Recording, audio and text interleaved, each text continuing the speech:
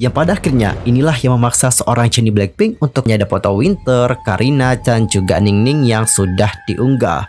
Halo semuanya, I'm Mr. Kim, welcome back to my YouTube channel. Nah guys, gimana kabarnya hari ini? Apakah kalian dalam kondisi yang baik aja? Aku harapkan seperti itu ya. Untuk hari ini kita akan membahas topik-topik terhangat seputar dunia perkepopan yang pastinya sangat sayang banget untuk dilewatkan. Nah, supaya kalian nggak ketinggalan informasi apa pun, langsung aja subscribe channel aku sekarang juga. Dan jangan lupa juga nih buat like, comment, and share kepada teman-teman yang lain lain. Dan berikut adalah pembahasan selengkapnya. Nah untuk berita pertama, kita akan mulai dulu membahas tentang Soyeji yang sudah digugat oleh perusahaan periklanan untuk ganti rugi setelah kontroversi gaslightingnya. Jadi pada tanggal 27 Mei, Busan Ilmu melaporkan bahwa aktris tersebut sedang berjuang secara hukum dengan sebuah perusahaan tempat Soyeji menjadi model iklan pada tahun lalu. Nah menurut media, perusahaan dan juga agensi Soyeji yakni Gold Medalist belum dapat mencapai kesepakatan tentang ganti rugi sejak tahun lalu. Tetapi pada akhirnya mereka memutuskan nih untuk mencari keputusan dari pengadilan. Perwakilan hukum Soyeji juga telah mempertahankan prinsip bahwa berbagai tuduhan yang dia terima tahun lalu tidak benar, bahwa tidak ada alasan untuk membatalkan kontrak, dan bahwa mereka tidak memiliki kewajiban untuk membayar ganti rugi. Di sisi lain, untuk perusahaan periklanan menyatakan, jika seandainya rumor tersebut memang tidak benar, maka aktris tersebut seharusnya dengan jelas membantah rumor tersebut. Dan pada akhirnya aktris tersebut tidak memberikan pernyataan yang jelas untuk membantah klaim itu, sehingga citra mereknya juga terkuras. Nah dalam hal ini, gold medalist mengatakan kepada Mail Business Star Today pada tanggal 27 Mei bahwa ada perbedaan pendapat antara pengiklan mengenai alasan pemutusan kontrak dan juga jumlah kompensasi. Dan kami juga mencoba menyelesaikan masalah masalah ini dengan cara damai dengan pengiklan. Tetapi proses pengadilan sedang berlangsung dikenakan perbedaan pendapat yang sangat besar. Agensi kemudian menambahkan, dengan enam pengiklan lain kami mengakhiri kontrak secara damai setelah berdiskusi. Seperti yang diketahui sebelumnya bahwa berbagai kontroversi seputar Soyeji diangkat pada bulan April tahun lalu. Soyeji itu terlibat dalam kecurigaan gaslighting terhadap mantan pacarnya yakni aktor Kim Jong Hyun. Selain diduga menjadi pengganggu sekolah, pemalsuan dokumen akademik dan juga menyalahgunakan kekuasaannya terhadap para staf. Dan Soyeji juga mengakui bahwa dia memang putus dengan Kim Jong Hyun setelah berkencan dengannya, tetapi membantah tuduhan tentang gaslighting, kekerasan di sekolah, dan juga pemalsuan catatan akademik. Dan setelah sekitar tahun refleksi diri, Soyeji yang menghentikan semua aktivitasnya akan kembali ke layar kaca dengan melodrama TVN yang bertajuk If, yang mana drama ini akan tayang perdana pada tanggal 1 Juni. Dan kita akan masuk ke berita yang kedua yaitu tentang Jennie Blackpink yang sudah berbicara tentang kesalahpahaman publik tentang bagaimana kepribadian aslinya. Nah, sejak Blackpink melakukan debut pada Agustus 2016, keempat member telah menjadi sorotan dan juga mata publik. Mereka juga telah menjadi sasaran banyak komentar positif dan bahkan negatif selama bertahun-tahun. Secara khusus, salah satu member dari Blackpink yakni Jennie menjadi salah satu member yang paling banyak menerima perhatian. Selama bertahun-tahun Jennie telah menerima banyak pujian pujian tidak hanya dikenakan kecantikannya, tetapi juga dikenakan bagaimana talenta yang dimiliki oleh seorang Jennie Blackpink. Namun, dia juga menuai banyak kritik nih untuk kehidupan pribadi dan juga publiknya. Dan untuk dugaan kepribadian yang banyak diklaim sebagai lazy, dingin, dan juga kasar. Nah, baru-baru ini Jennie melakukan wawancara dengan Rolling Stone, di mana Blackpink ditampilkan sebagai cover majalah untuk edisi Juni 2022 mereka. Debak kan?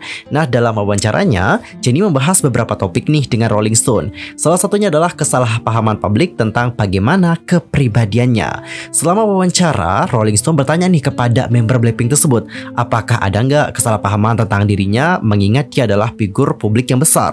Untuk ini, Jennie mengungkapkan bahwa dia sebenarnya adalah orang yang pemalu sejak dia masih muda dan juga dia mengatakan, ketika saya masih kecil, orang-orang sering mengatakan saya terlalu pemalu. Saya tidak cerdas dan juga penuh energi. Saya pemalu bahkan tentang menyapa saja. Namun, seiring bertambahnya usia, dia menuai kritik dikarenakan kepribadiannya yang pemalu. Yang pada akhirnya inilah yang memaksa seorang Jennie Blackpink untuk keluar dari zona nyamannya. Ia pun mengatakan lebih lanjut, saat ini saya sadar saya harus mengatakan halo, kalau tidak itu akan salah. Jadi saya akan keluar dari cangkak itu. Namun meski melakukan perubahan untuk mengakhiri kritik, dia masih bertemu nih dengan banyak orang yang berkomentar tentang bagaimana penampilannya. Menurut Jenny, orang-orang sering mengatakan bahwa dia selalu terlihat kesal, bahkan ketika dia hanya berdiri tanpa melakukan apa-apa. Karena itulah perasaan Jenny pada awalnya terluka. Jenny kemudian mengungkapkan lebih lanjut bahwa saat masih trainee, aku sering mendengar kenapa Jenny selalu terlihat kesal. Saat itu itu menyakiti perasaanku sebenarnya. Aku tidak kesal loh, aku hanya malu di depan orang lain. Daripada terluka, ya aku menerimanya dan juga berusaha lebih keras lain kali. Dan sekarang sudah enam tahun sejak Jenny memulai debutnya dan yaps, sudah banyak penggemar yang sangat mendukung Jenny yang mana mereka juga semua sudah pada tahu bagaimana kepribadian asli dari seorang Jenny Blackpink. Meskipun dia adalah seorang yang sangat bersinar, tetapi dia juga pada akhirnya adalah salah seorang yang memiliki sifat pemalu. Mereka juga memastikan untuk membela sang idol jika memungkinkan dan terus menunjukkan dukungan mereka untuk pelantun lagu solo tersebut. Jadi nggak ada kesalahpahaman lagi ya terhadap Jennie. Ya seperti yang kita lihat komentarnya nih, seperti orang-orang yang belum kenal dengan Jennie Blackpink, terutama dengan video-video yang sudah beredar di Facebook seperti itu, banyak yang mengatakan, aduh kok jutek banget sih mbak dan ya kita dapat malum ya kenapa orang dapat berkata seperti itu karena mereka juga belum kenal dengan Jennie Blackpink. Tapi buat kita yang sudah kenal dengan Jennie Blackpink, jangan ada lagi kesalahpahamannya di antara kita. Dan yang aku tahu sebagai seseorang yang juga memiliki sifat pemalu, kita juga dapat relate dengan apa yang terjadi dengan seorang Jennie Blackpink. And how about your opinion for this one? Atau langsung aja sampaikan di kolom komentar. Dan kita akan masuk ke topik yang berikutnya yaitu tentang Espa Esport yang kembali menjadi trending topik setelah salah satu member dari Espa yakni Giselle kembali lagi disingkirkan dan kali ini oleh dua perusahaan terkenal sekaligus. Fans dari girl group SM Entertainment yakni Espa mengungkapkan bagaimana kemarahan mereka dan juga kekecewaan mereka atas pengecualian Giselle secara terang-terangan dari postingan baru-baru ini oleh dua perusahaan terkenal sekaligus. Nah sebelumnya pada tanggal 23 Mei yang lalu, account dari klub Clio Jepang sudah membagikan iklan kill cover fixer cushion mereka dengan anggota Espa sebagai model. Tetapi yang membuat para penggemar menjadi kesal dan juga cukup kecewa adalah mereka di sini tidak memasukkan foto Giselle, hanya ada foto Winter, Karina dan juga Ningning yang sudah diunggah. Fans juga meminta agar iklan tersebut dihapus saja dan nanti diposting ulang untuk menyatakan Giselle. Dan mereka juga menambahkan bahwa kesalahan itu juga memalukan dan sangat tidak adil. Namun hingga video ini dibuat, untuk klub Clio Jepang diketahui belum membuat statement apa pun. Dan sayangnya untuk materi promosi klub Clio bukan satu-satunya loh contoh Giselle yang baru-baru ini dikecualikan. Jadi pada tanggal 26 Mei, Espa yang tampil di Festival Universitas Korea dan mereka terlihat cantik dengan pakaian panggung berwarna merah dan juga hitam. Namun untuk akun Instagram sekolah mereka itu lalai menyertakan foto Giselle secara individual di Instagram story mereka.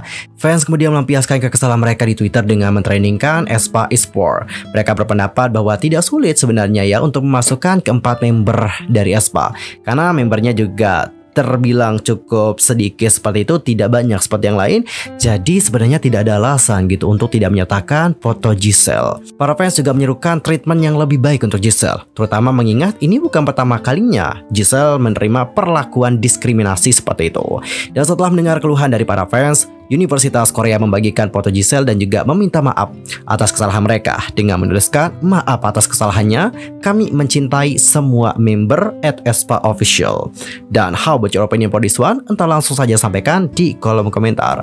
Apakah sebagai fans kalian merasa kecewa dan juga marah dengan bagaimana perlakuan yang diterima oleh Giselle? Mengingat ini bukan pertama kalinya Giselle mendapatkan perlakuan seperti itu. Langsung saja sampaikan bagaimana opini kalian di kolom komentar Well guys, topik tadi menutup perjumpaan kita untuk hari ini. See you next time di video berikutnya. I'm Mr. Kim pamit. Thanks for watching. Goodbye.